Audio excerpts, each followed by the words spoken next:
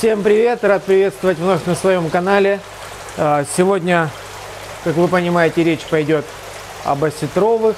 Сегодня будем пересаживать уже в, в то продление системы, которое мы сделали, двухметровые бассейны, куда мы в предыдущем видео высаживали стерлядь. Э, Сейчас мы точно так же, естественно, перевесим и пересадим новый дом. И дам я чуть-чуть водных данных. Перевешивали этот бассейн 18 февраля. Общий вес был 17 килограмм 320 грамм. Количество 43 хвоста. И средний вес был 402 грамма. Кормежка была 180-190 грамм.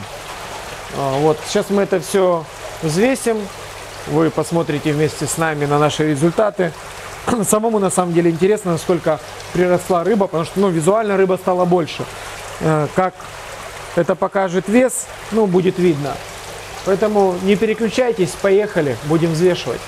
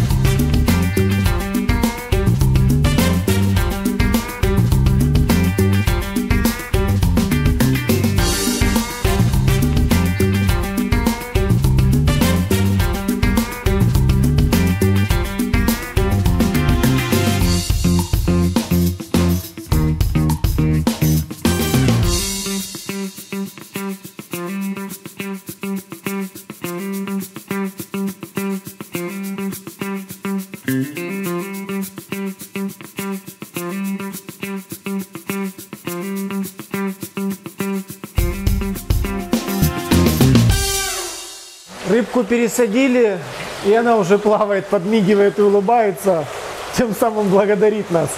Ну, правда, рыбе стало не так тесно, я надеюсь, что это принесет свои результаты. Итак, по цифрам, что у нас получилось? Значит, скормили за период э, 5 килограмм 130 грамм корма, приросло 4 килограмма 960 грамм. Ну, то есть коэффициент чуть-чуть больше единицы. В принципе, неплохо. А, Далее, общий вес рыбы на данный момент составил 22 килограмма 280 грамм. Средний вес 518,1. В отличие от предыдущего, предыдущий был 402 грамма. Следовательно, рыба приросла за 30, ну, в районе 30 дней, только что считал, не буду врать. А, в общем-то, приросла за месяц больше, чем на 100 грамм каждая единица. Принципе, результат достаточно неплохой. А, как- какой процент, какой прирост будет уже в этих увеличенных бассейнах, а, увидим вместе с нами. И далее будет интересней. Оставайтесь с нами. Снимаем все, что делаем, пытаемся, стараемся для вас. Поэтому до новых встреч. Рад был снова увидеться с вами. Всем пока.